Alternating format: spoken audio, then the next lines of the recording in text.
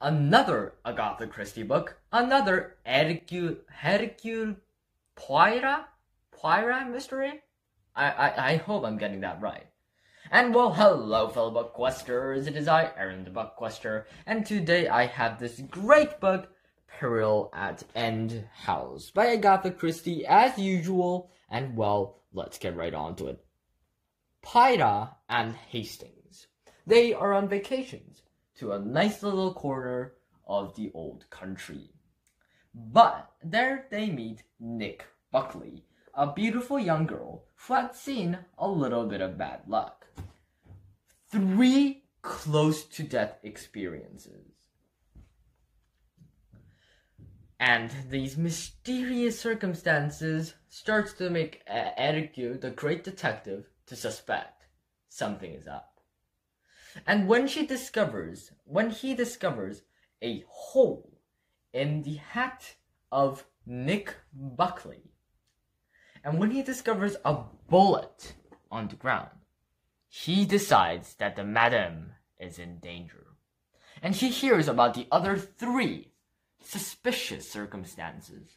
The first one was that three in the three close calls in three days is once on a hillside, the brakes of her car had been tampered with, so that if she had driven the car down, it would have crashed into the townside and killed her for certain. And when she was walking in the seaside, a boulder had rolled down and almost killed her, missing her by an inch. And, of course, a painting that was hung above her bed. While she was going to the restroom, she realized that the painting had come crashing down onto her bed. If she was there, she couldn't even have called out for help. She would have been crushed to death. And Pora, he knows, I mean, Poha or whatever, he knows that something's up. And he declares that Madam, Madam Buckley needs his immediate protection. He first tells Madam to call in a friend, and the Madam calls in Maggie Buckley, a close cousin and a friend. But then she dies as well, and she was wearing very similar clothes to the Madam herself. The murderer must have mistaken the innocent Maggie Buckley for the mad for the other Madam Buckley or Nick Buckley.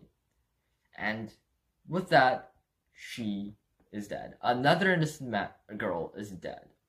Nick Buckley's life is threatened. Can Poira, I mean Poha, can he solve this case before it is too late? Solving a case where no murder has been committed? Well, you see, I can't go through that, but something that I do want to say is that uh, Poira, well, Pohar and I, we were both outsta- outstanded, like out astounded because we I did not expect this book to go in that direction. And let me tell you, do not believe in the obvious ever. Even though sometimes in detective books they make it look obvious, then it's not obvious, and then it's the obvious person again. That happens. But in this case, it might not be that. And let me tell you, there might be multiple plots, multiple villains, and multiple schemes from several different people to get what they want. And that is an uncommon trait traitor mystery. What you just heard about the three attempted, three accidental deaths and all that, well, it's possible.